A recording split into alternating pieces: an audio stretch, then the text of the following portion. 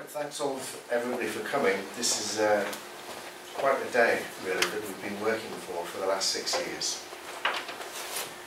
Just to get the, the final equations written and I've been working in Taiwan with a university and some very, very high level academics who understand that all the mathematics and physics has to be correct before I present it to you. I'm not going to present all that mathematics and physics, I'm going to present the logic today which anybody can understand, but all the underpinning mathematics has to be signed off as being proofread, and there has to be a standard academic paper which was written by me and the university, which gives a correct perspective on the reality that we live in. Now, the best kept secret in science is the fact that Newton's work didn't work for anything more than two bodies in space. It only works for two bodies in space. Three bodies in space, it doesn't work. Now if you tell that to university students, they feel a sense of almost being cheated by science. How, why doesn't anybody come That's the first thing that we should say to all students, is that as soon as we start to do real science and we have the laws of gravitation, we find straight away, at a very simple level, they don't work anymore. So I've been digging through the whole of human information for 16 years, finding the pieces of information that you need just to put them together like a jigsaw, and the human brain will relate them automatically. Our brains work on sets of relationships and patterns seeking. The problem is that we've got so much information and it's all separated out into so many different departments, we've lost track completely of what we're doing. So we teach in universities as if reality works in different departments, but when I look outside the window, it doesn't. It all works together. My bones behave according to the laws of Newtonian mechanics, levers, but they evolve according to the mathematical laws of genetics. So I've got two separate answers at the same time which are incompatible. Evolution is by definition adaptable. Physics, the laws of physics are by definition predictable and therefore not adaptable. And I can't get evolution out of the laws of physics for that very reason. So let's have a look at the three-body problem that Newton comes up against and he dies not being able to solve the problem.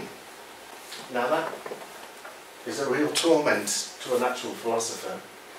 So this is the actual page from his work where he comes up against the problem. Two bodies in space. It's algebraic. That means it has a solution, one solution. Three bodies in space. Well, much later, Poincaré, the French mathematician, the father of chaos theory, comes along and he solves the problem. But his solution to the problem presents a much bigger problem. So let's just see what Poincaré has to say about the solution.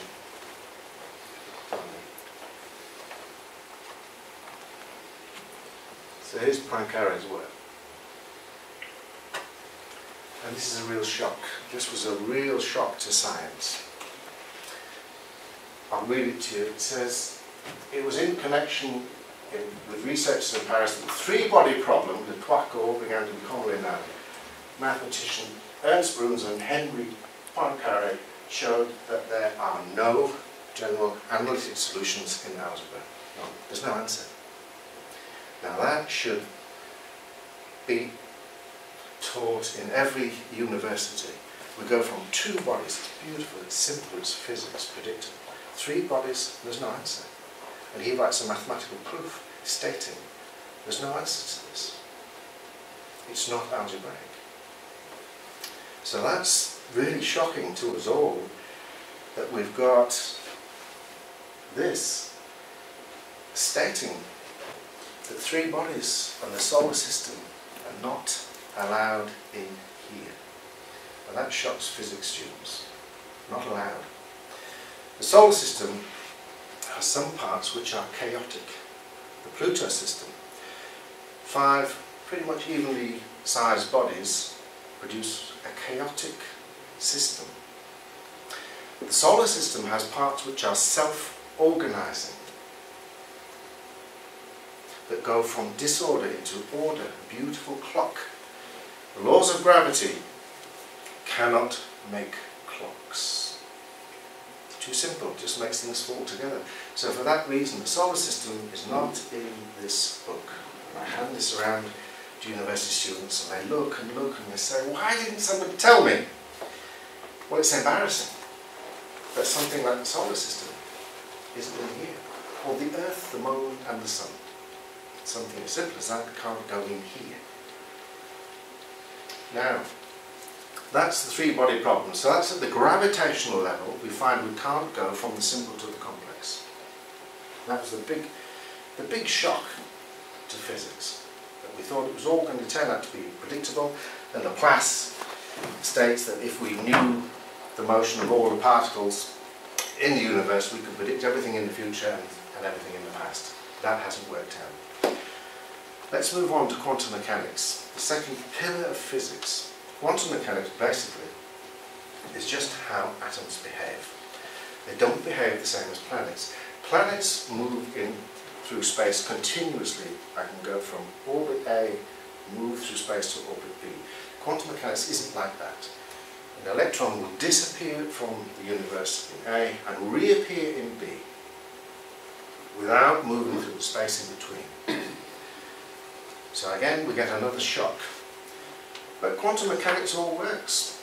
That's how a laser works inside a CD player. So it's predictable, it's good physics. But I've got two different kinds of physics. One which is discrete and jumps from orbit to orbit, and the other moves smoothly from orbit to orbit. Two different kinds of physics, which are incompatible. The laws of physics are not supposed to be incompatible. So there's quantum mechanics. And the real problem with quantum mechanics was the big disappointment that learning how particles behave did not tell you how the internals of a cell behave. These are particles just the same, moving around. But if I could see inside the cell, it would look like the inside of a factory. All these different kinds of machinery, everything moving about, enormous complexity. Quantum mechanics did not solve that problem. That was the big disappointment for physics. That life doesn't come out of quantum mechanics. So that was another shock. So it seems like science is beginning to fall into parts, and it is. But you need me to say it. When Brian Cox says it, it goes around all these. He uses sleight of language when he talks about the solar system. He doesn't use the laws of physics. He says the words, the laws of nature. And he slipped around it, and then people don't notice. But now you will notice, because you'll look for it. So he can't use the laws of physics to describe the solar system. And he knows that. Richard Feynman, the American genius, his quote that really shows that physics isn't working at the life level. I can't look at the elements that make my body and say how they organize into the laws of genetics or evolution. They're just elements, that's the physics, but how do the elements think and talk and look at you? That's the big deal. That's what physics failed to answer. So let's see what Richard Feynman had to say about quantum physics and life.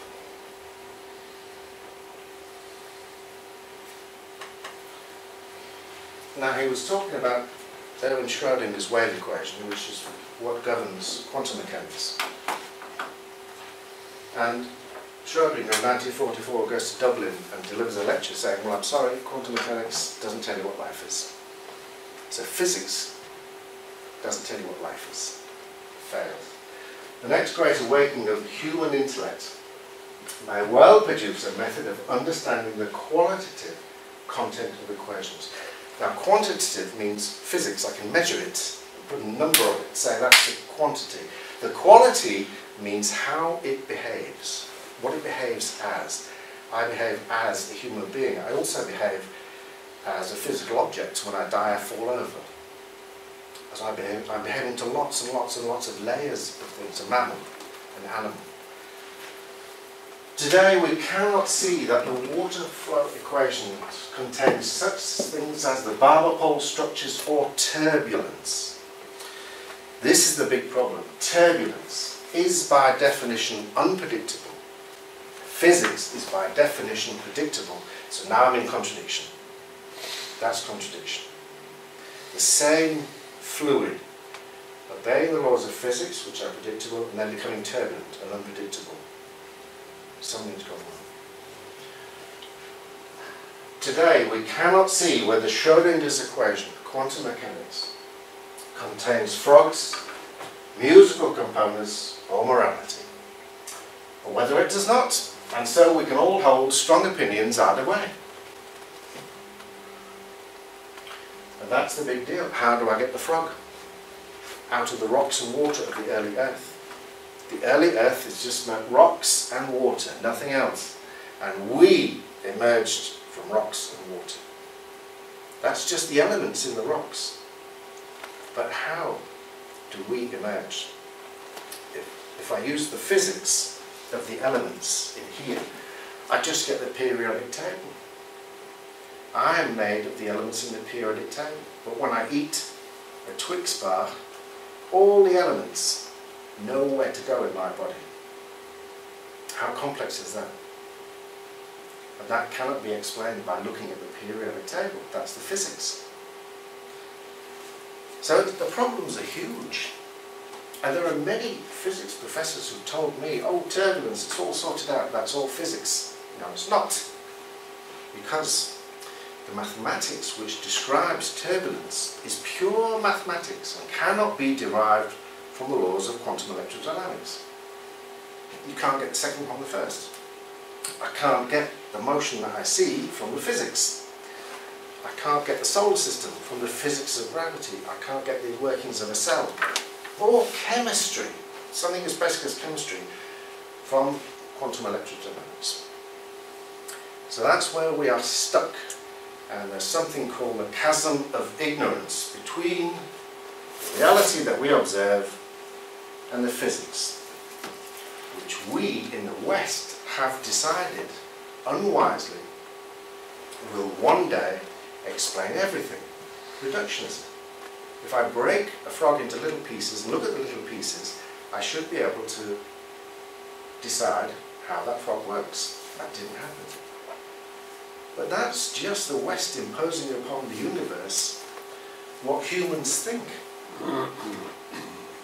that we are going to find predictable laws that will tell us everything. And that gets put on Western philosophy by Newton.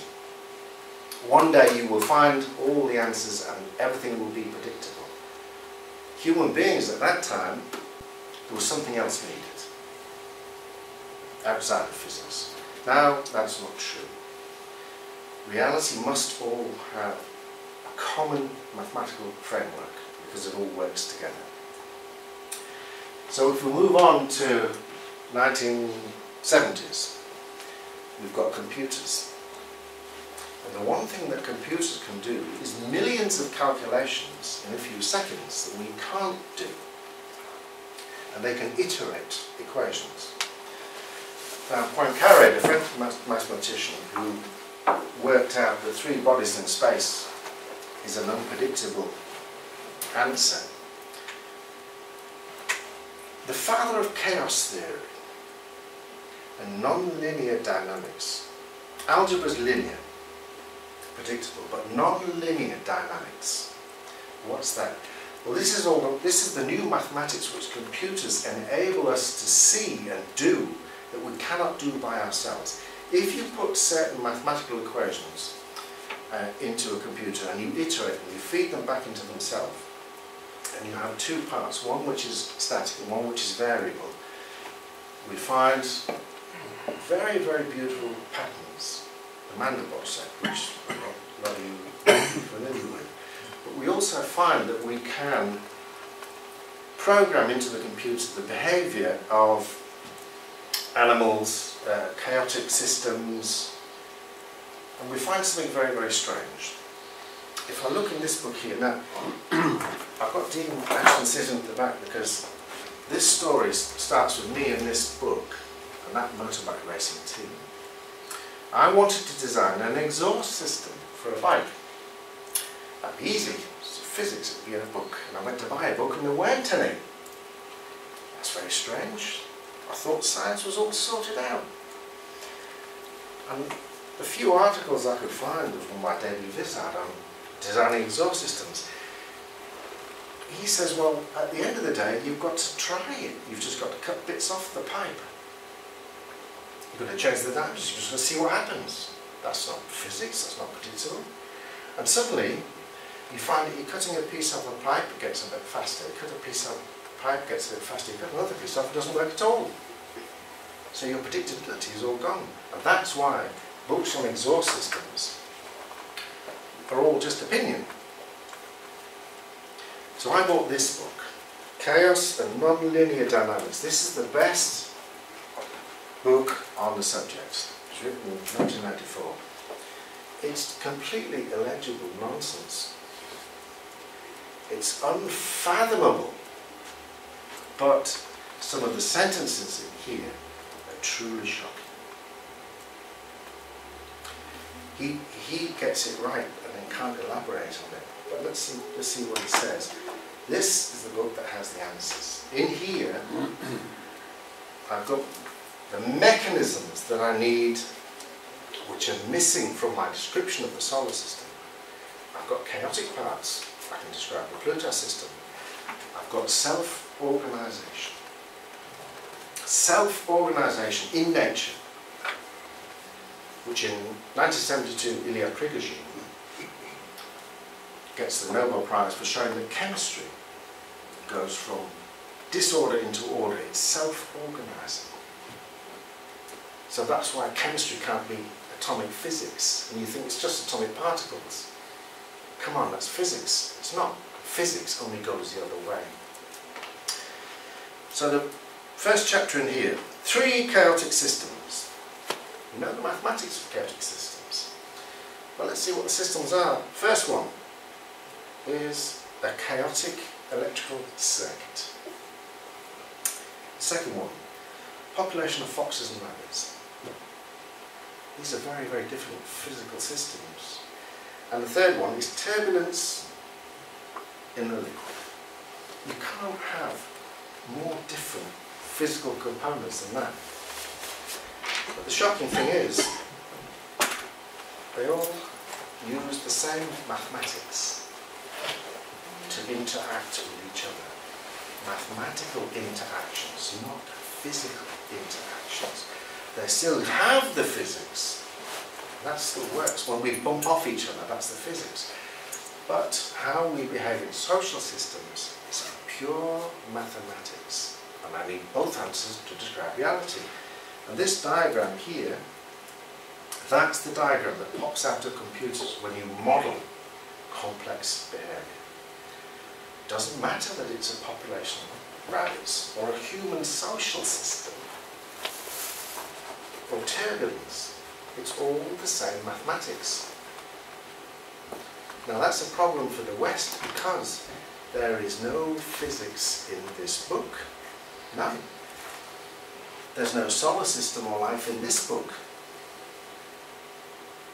So what would you suggest that we do? If I've got the answers I need for the complex and chaotic parts here, the answers for the predictable parts here, surely I just put them together. But if you've already imposed upon yourself everything must be physics, that just gets put aside. And that's what's happened at the minute. People work in this, it's pure mathematics, and they don't put this and this together. They can't because there's no physics in the book. It's the same physical components. So my three bodies in space start as two, I get algebraic expressions, As soon as I get to three, the same bodies start to behave differently. And that's what throws the human mind. I'm looking at the same things, they're doing this, now they're doing this, the physics seems to have disappeared, it hasn't, you can't switch it off, but now I've got both sets of behaviour at the same time. And I've got to admit the universe obeys our mathematical rules as well as physical rules. And that's what we don't do in the West. So let's just show you that that is true. We already know it, but we don't admit it.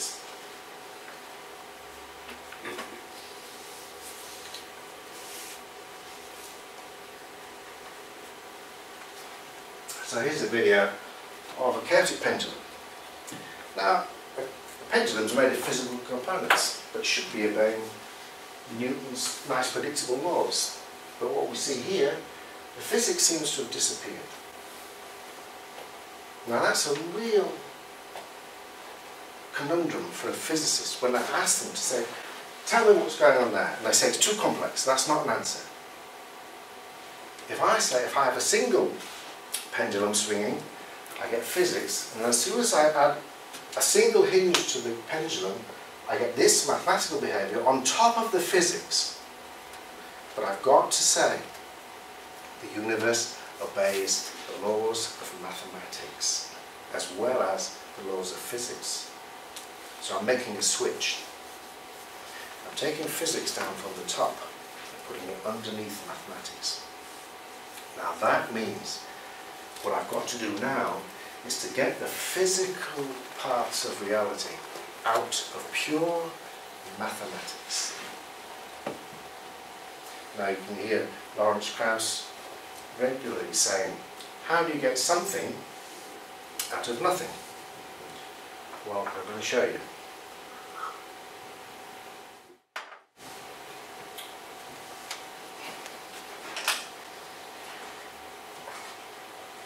Everything's made of energy. Equals mc squared. I'm going to explain what that is in terms can understand. Energy. Mass and the speed of light. Mass is one of the fundamental properties of matter. It is not an intrinsic property of matter. Particles don't have intrinsic properties of mass. Mass is a relationship with space. Space produces fields of energy. Units of energy what particles are. They are not units of substance. They're units of energy which have properties. Those properties come from the fields in which they are. And the field is distorted by the unit. So I can see that I've actually got a system of this distorting this and this distorting this. That's what relativity is. When I put units of energy into space, I get a field. Space is a mathematical structure which changes its shape because of the unit. The unit behaves as a gravitational body because of the field distorting. It's a double answer. And one of the basic components of quantum mechanics is that anything by itself has no meaning. And now we're beginning to explain why. It's relativity but these units here don't just have mass, they also have electrical and magnetic fields. So why don't we admit that an electrical field, a magnetic field, are properties of space outside the Earth? We know it is, but we don't say that that's general relativity. And I'm going to show you how I can prove that to you. If I've got the forces of nature, the fundamental forces of nature. We've got gravity, sitting by itself, that doesn't fit together with the atomic forces. The atomic forces, I've got electromagnetism, appears to be two forces, oh, we'll call that a single force, big mistake. The strong and weak nuclear force. This is quantum chromodynamics, this is quantum electrodynamics. Now we say stupid things like, gravity makes a star. Would you all agree with that? Because if you've just got gravity trying to make a star pulling things together, and there's nothing holding the star up, an opposing force, I just get a black hole, disappears into another unit of energy. I must have something opposing everything. I must have my double answer again. This is called two-valuedness in quantum mechanics. So gravity is not a single force. It's not. It's a relationship between fields and units, both at an individual level, which is what we call the mass of a particle, and the collective level, which is what we call a gravitational field. But if it just works by itself, I don't get a star. I need these two forces acting against this to release energy from the nuclear process here to hold a star up. So if I want a star, and I need both these forces acting against each other in the nucleus, can't do it with one. If I then say that gravity is not a single force, it always has a partner, always acts against a partner, I get the cosmological constant. Now the cosmological constant is what basically makes the universe keep expanding against the force of gravity. It's got a partner that Einstein has to put into his equations to show why the universe does not slow down or stop and fall back together. It has a partner, an opposing partner. So I find that my forces come in a pattern, and that pattern is three pairs of forces. And I can put stars in here because a relationship between these and this produces stars. A relationship between these and electromagnetic repulsion and nothing else produces a planet. Now it has to be of a certain size to produce a sphere or a moon, that's what the planet is. It's a relationship between these and these. These two and these two. These two and these two. And here I can say something not big enough to make a sphere, objects and elements. But there's the whole of reality put into three pairs of forces. Our present perspective is that there are four forces of nature. Electromagnetism, the strong weak nuclear force and gravity. And that's the big mistake. When you say four forces of nature, you're thrown off the scent. Now we've already agreed that the universe obeys mathematical laws. You can see them all over nature. I took a beautiful picture in Waitrose of a broccoli. I'll show you the broccoli, just to convince you.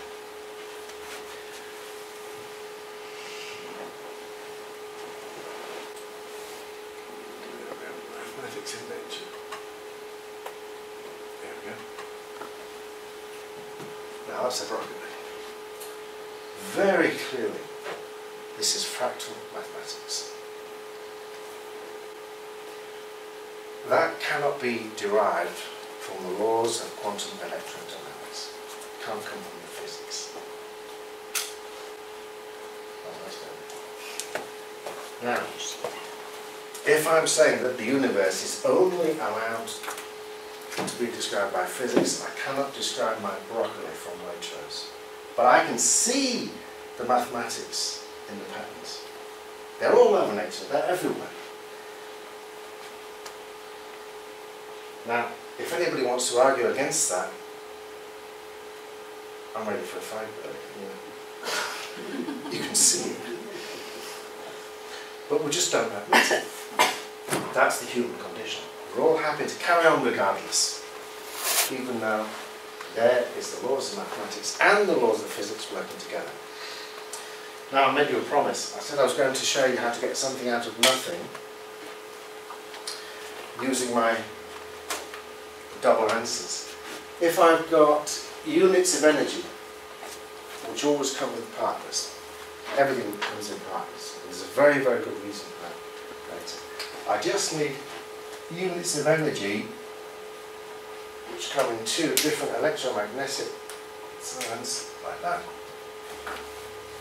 These units of energy do not have intrinsic volume or mass. Mass is a relationship with space that we call the, Higgs mechanism, the Higgs field. So in a sense the ether is back, but we'll worry about that later. If I've got particles which both attract and repel each other, I can get volume here from units which have no volume. So I can get volume and mass, the two properties of substance, from units and fields of energy which don't have intrinsic mass or volume. So that's how you get something from two nothings. That's it. Now that I've admitted that I can use the laws of mathematics to explain the universe, if I go underneath the physical, let's just see what Marcus du Sautoy, the mathematician who's one mistake away from answering the question, one mistake behind us, and his mistake is on page 103 in here, that's why there's a little thing there. He says, it's amazing to me how time and time again the physical world seems to turn into a piece of mathematics. We have to ask to what extent this is just a good story that helps tie the physical universe together. Or is the, the physical universe actually a piece of physicalized mathematics? He states he says it. But he's stuck because he's stuck with the four forces of nature. And Marcus Sautoy, his big deal is prime numbers. Now he knows that underneath all of mathematics, we get prime numbers. Prime numbers build all the other numbers. There's something very, very special about them. The first two prime numbers are 2 and 3. And all the other numbers are built from those. Everything's built from those. The first natural number is not one of anything. Because if I'm going to get something from nothing, I can't get one of something changing into something new, a new component in the universe. If I've got two different parts which change each other, I can. So now let's describe a star properly.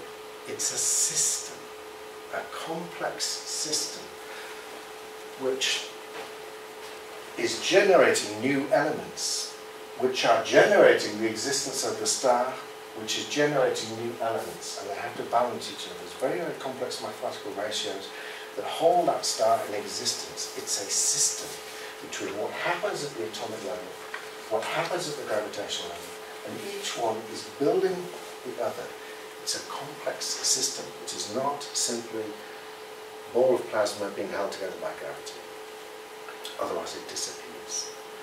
So that is how we now describe things. The simple things in the universe, the simplicity are a proper place. Underneath my simplicities, I've got individual relationships. I don't have individual units of anything that build anything else. I've simply got relationships. So the relationship is the unit of the universe. That's the big change. And it starts as mathematics, which can become physical, and then I can use nonlinear mathematics on the top of my physical to explain chemistry, biology, genetics. All the elements there put in the right place. That's not going to come from physics. Our jewel of physics, quantum electrodynamics, simply describes how an electron moves in a magnetic field. That's not very complex. When I look at that, this, this would go on for miles and miles and miles and everything's in the right place. But if I've got self-organisation, from here, feedback loops, and this mathematics on top of the physics, I can then have a logical description of what genetics are. So we're really beginning to break just tradition. It's only tradition that says physics has to describe everything. There's nothing else holding us all back.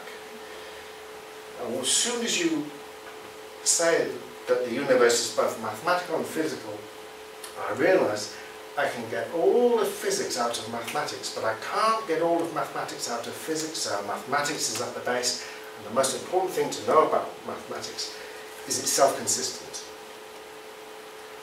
Every part of mathematics must be consistent with every other part. Physics, we've got two parts which are not consistent, so we've got a problem if we're saying everything's the laws of physics. If we're putting mathematics as the base, it's no problem. That disappears. So let's just have a look at where we are now.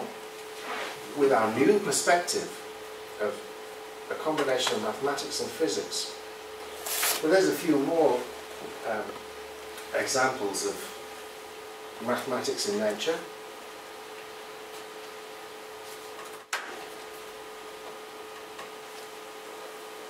And I'm just going to prove to you that, uh, where's Roger Penrose? Anyways, uh, most of you know Roger Penrose, just to show you how stuck in tradition we really are. The major revolution, which I do think we need, would involve a complete rethink of not only quantum mechanics, but how we look at space and time. We'll do that later. So there will be a revolution waiting in the wings. And when that revolution has come, maybe we can think about the issue of what thought is. And in my view, conscious thinking does depend on the missing part of physics. They said it, the missing part of physics. But I've already got everything I need to describe the other parts of reality here. It's not physics. There's no physics in the book. So that's just the traditional viewpoint. We need a revolution. We need to swap the idea that physics describes everything, put mathematics underneath, underneath and I get logic. So ladies and gentlemen, I put it to you that that revolution starts here today in this room. And I, I have done five years of mathematics and physics that, that shows how all of mathematics and physics fits together. Mathematical functions written hundreds of years ago appear in atomic physics just like magic. We just use them. Oh, how lucky for mankind. Complete nonsense. That needs an explanation. And that explanation starts here with a revolution. It doesn't mean that any part of reality that we work on is wrong. It simply means we can fit them together. And that's a great relief to people who work at the universities because it means all, everyone can carry on. But you need another department in the university where that works in between all the others. So this is Robert C. Hilborn stating our problem. If we look at the features that are common to all successful models that point to the common features providing an explanation for nonlinear behaviour, that's all the mathematics that we see in reality. We find the common features are not the physical features of the system. It's got nothing to do with physics or what it is, whether it's a fox and rabbit, water, or a chaotic circuit. That's disturbing. This is disturbing to many scientists to answer this question, we have to cast off the blinders that most 20th century physicists have worn. So the physicists have to cast off the blinders which say that physics will one day describe everything. It doesn't need to. There's no, there's no logic that says that must be the case. The blinders that have kept our attention focused on learning more about a microscopic world that underlines the phenomena we observe. That basically just means atomic physics, electromagnetic physics. So that's it. We have to cast off the blinders. We have to stand up and say, I see mathematics in nature. Therefore, I'm going to admit that this is a mathematical universe as well as a physical one. So books like this are a mathematical universe. That's take Tegmark. He almost gets it, but he's a physicist. So he's talking about quantum mechanics, so how we describe atomic particles. So what are quantum numbers like energy and charge made of? Nothing. They're just numbers. Underneath the physics, there's only mathematics. I've got energy, little units of energy, but they're not physical. There's no physical structure there.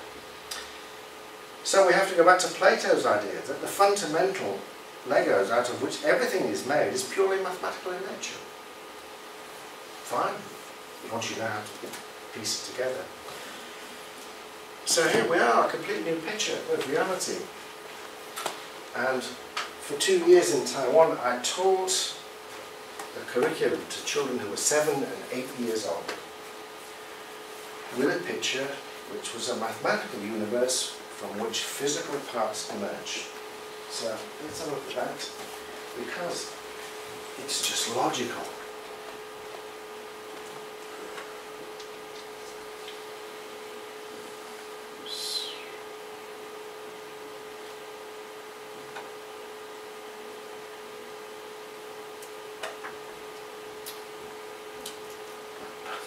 Here we are.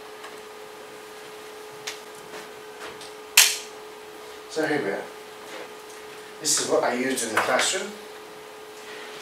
I was observed by the government in Taiwan who put 10 universities onto this and said, is he talking nonsense or is it just reality? And they said, fine. And the school said, you can teach this to the students as long as they're happy with it, as long as their parents are happy. So here's my new picture of reality. I've got my physics down here, rigid laws which are set all over the universe, not adaptable, so I can't get evolution from them. I've got the laws of quantum mechanics here. This is atomic physics. Over here is gravitational physics. And I've only got these two forces. Forces make things happen, make things change. I need a new set of forces on top of that. Mathematical forces, which we call strange attractors. We know these exist in mathematics. So now I've got my physics down here. I've got, I can have stars and elements building each other as a very simple system here. But if I want the solar system, chaotic parts, self-organizing parts, and predictable parts, I need to use these laws and these laws here, which we know, which we know govern the rest of reality, all the complex parts of reality all the turbulence and chaotic parts of reality are here in mathematical rules which also we know entities interact using physical laws and mathematical laws. We know that to be true. So now when you show students this, and I do this as a jigsaw, and they can come and put into this a sensible place to put the solar system. In between the laws of gravity this is the laws of perturbation theory here, which is just pure mathematics, Laplace. But there's, there's no self-organisation here. That comes from here. So this and this together, I can put the solar system in here. I can put a galaxy in here. It's not just the laws of physics. These beautiful spiral shapes from the Fibonacci sequence. And I'm going to see the same ones at the atomic level, which I do in typhoons. It's the mathematics and the physics. I need the push and pull. These are very simple systems. Clocks. There's the solar system, now in a sensible place. Chemistry, which goes from disorder into order, needs mathematical rules as well as physical ones can go in here. And I get the same pattern. And then life and viruses, which need, somewhere like the Earth, energy from the sun. I need an input of energy can go in the middle. That makes logical sense, and I will challenge any physics professor to say that is not the same as what we observe. We know this is true. We know this is true. We know this is true. We know evolution is true. That just fits them together in a Venn diagram, which came out of home. And now I know that I'm looking for a pattern in mathematics, not in physics, which reflects what I've got here. Underneath the periodic table, there must be another periodic repeating pattern that generates everything. Brian Cox knows that. So in his book here, he dedicates a whole page to it. There's a mystery at the heart of science, for which as yet with no explanation. And that is, this universe is simple. It starts off very simply. We see in the periodic table a periodic repeating pattern. Underneath that, there must be another periodic repeating pattern that generates the elements. Underlying all the astonishing complexity appears to be a magnificent simplicity. And nowhere is that simplicity more obvious than in the construction of the elements. So we know what we're looking for, but he's looking in physics and he can't find it. If I look into mathematics and I look at the first physical structures in volume, I find a neutron and a proton which have a pattern. And that pattern is a relationship between the first two prime numbers, 2 and 3.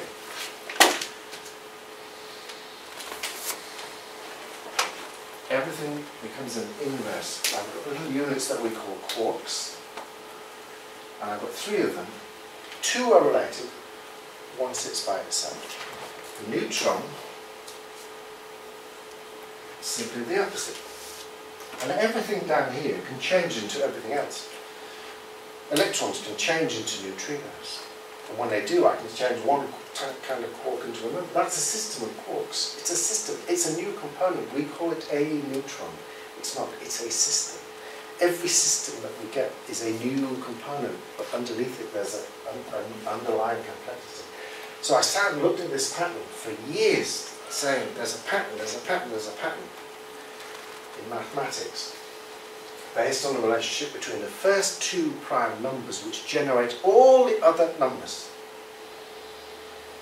Prime numbers and composite numbers are a self-organizing system and the universe is a self-organizing system based on a single periodic repeating pattern in prime numbers. Let's show you when you can say that, what you can do.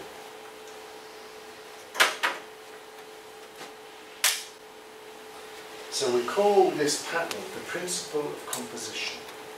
How do you bring new components into the universe using the same periodic repeating pattern based on the relationship between numbers 2 and 3. The principle of composition, version 5.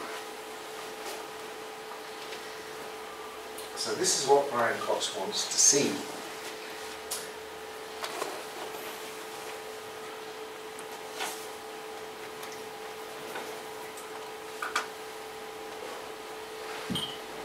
What I find is everything comes in this pattern of relationship.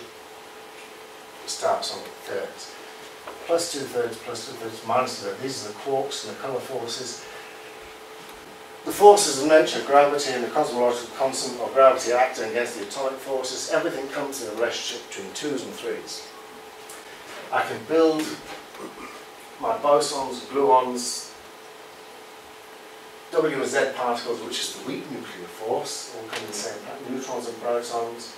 And then I go and I find that I can just keep using the same pattern until I get all these relationships and the whole thing. Quantum physics, classical physics and nonlinear dynamics. It all comes in the same periodic repeating pattern that goes from simple to complex. And people can argue as much as they want. It either is that pattern or it isn't. Now when I show it to young students, they say, oh yeah, that makes sense. If you show it to physics professors, they say, oh, it's too simple. Can't possibly be that. But they have careers and reputations to protect, so they're very, very nervous when they speak to me. If I show it to university students, they don't have, they're not nervous, they just say, oh yeah, well, that makes sense. So I now find that, that my pattern here, I can put the standard model, which is the, the, pattern underneath underneath the periodic table, which we know we've got some parts of it right the quarks and the leptons come in two rows of three. The rest of it's just stuck on the end. It doesn't work. But once I know I'm looking for this pattern, I then find that I can put everything into the same pattern, of simple to complex, a basic relationship, and then I get two pairs of relationships. Come on.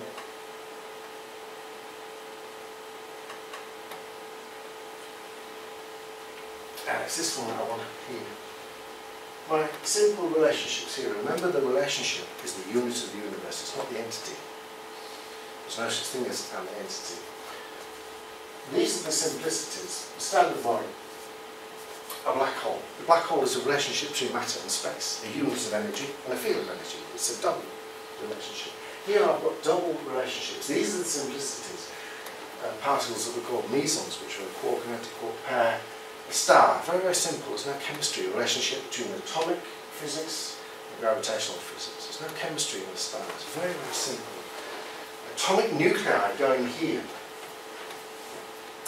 And the complexities, as soon as I get to three components, I'm over into the three-body problem. Over here, I've got solar systems. I've got atoms, positive, negative, proton, neutron, electrons, And I've got, this is, this is really interesting. Music and sound and language go in here. Everything goes in here in this pattern, simple to complex, atomic level, gravitational level. Music goes in here, all made of partnerships between major and minor, harmony, rhythm, dualities. Nice and simple. That's why animals use it, and that's why we respond to it, because it was our first language, because it expresses emotion. So I can express emotion without having language. Now that's a wonderful thing to be able to teach children. They wake up. That's what music is. It's our first language because it's simple mathematically. So it goes in here. A sound just goes in here. Language goes over there. Language must be based on three components. So I grabbed a linguist who'd come into the school and said, what three components is language based on? He said, it's easy. Sounds, meaning and code. Oh, thank you. Done it. Put that in there. So it's just like having a jigsaw put the pieces in the jigsaw and it just goes on and on and on until you get a new standard model based on pattern, prime number pattern and I'm going to show it to you but you won't be able to remember it. What you find is that the standard model, the part of it which corrects, which is here, my two rows of quarks and leptons, I now find I can put everything else into the same pattern. Everything. So I need, so for instance, just like a jigsaw, I need to have, we've got here wave particle duality, which is the photon, which has a magnetic and electrical part. I need to have a wave which comes in three manifestations of the same thing. Wave three. Neutrinos. Neutrino oscillations just going here. Oh, got it. It's, there are three generations of matter the electron, the muon, and the tau. And then we have three generations of, well, you must have three generations of space. The gravitational fields, magnetic fields, and the electrical fields. We don't admit that. There's nothing else outside the Earth except space, an uh, electrical field, a magnetic field. Everything must now come in the same pattern. So space, and it's three different generations go into my pattern. Three different kinds of space. Magnetic space, nice and simple. Remember dualities, two poles. Gravitational space, one pole. Electrical space. Guess how many poles electrical space has? Three. So you've done it. A New standard model. That's what, that's, this is what my legal guy in Taiwan wants me to, you can't see it, you can't remember it. But that's worth so much money because it's, that's the answer there. It's all the same pattern. No, it's not. It's nothing. It's not my opinion. It's just the same pattern. And there's everything in there, even people, and sexuality, uh, animals, plants, and fungi. And animals and plants are an inverse of each other, mathematically. Photosynthesis and respiration are an inverse of each other.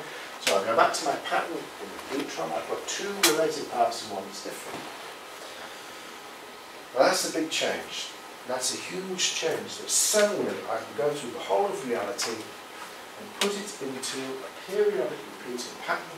I go through the whole of mathematics and show that everything in physics happens in mathematics. Everything that happens in mathematics doesn't happen physics. I'm going to put them the other way around. So I'm not going to bombard you with any more information. There's now thousands and thousands of documents like this showing how it all fits together, using the same pattern. And that's all been peer reviewed, gone through and ticked off and say yes. But you don't need physics professors to tell you logically if one answer is logical it's the same as that you see, and the old answer isn't, you have to make your own mind up. And people don't do that. If everybody stands up in the room somebody does, everybody will stand up. People will just stand up and just copy. We can't copy anymore. We can't copy tradition. We must use something which is logical to take the next step to answer the questions and the problems which are coming at us. And now we can. We have those answers. So I, I'm co-founder of something called the Future Impact Foundation, which has gone through all this information and knows how to use the answers to make our future safer because human beings as collectives we are predictable. So that's the big change which is now coming out of this, and it's coming fast. And this is the first lecture in the West. You are the first people in the West to get this answer. If you look at the piece of paper that you've got in front of you, you've got the present viewpoint, in which I cannot get to a galaxy, a solar system, or the Pluto system from the physics. I cannot get to chemistry, viruses, Terns. Thank you. Or genetics. I'm stuck. But the second one I can, I can tick them all off. So that's your takeaway for today. You know, one is logical and is the same as I see, the other is not. Now I think we're going to have a question and answer session. I'm now working very closely with a professor at the university who's woken up to this. And everything that he asks for, put it on the table, it's there. He says, what about the standard model? There it is, all corrected. What about all the big problems in physics? What about the measurement problem in physics? Solved, there it is. So I now I also work with a university in South Africa who said, if you have got the right answer, you can answer all our questions on physics. So they sent me 125 questions in physics. All in Chinese, so no pressure there. and I said, that will take me years because they're so. I'll do the last five, which are hard. Very hard. And this is why um, th there you need a six-dimensional uh, viewpoint that describes the universe. It's, can you do that? So do that. So I sent them the answer back to all those five in 20 minutes and that was it. I said, all right, we'll believe. That'll do it. So you can see how powerful this information is. And if you give it to students, they can learn twice as fast because they cross-reference pure mathematics with something that they see. It's not abstract anymore, it's all out there. And this explains why we find the zeta function in mathematics, in atomic physics, the Mobius function, which is the relationship between fermions and bosons, just there it is in atomic physics. So we really do have to stand up and say, logic is the only thing that we need now to describe reality. We have a single, consistent, logical description of reality, and it's nothing more than that. If people say, oh, it means this or it means that, it doesn't mean anything except that reality is logical. Thank you.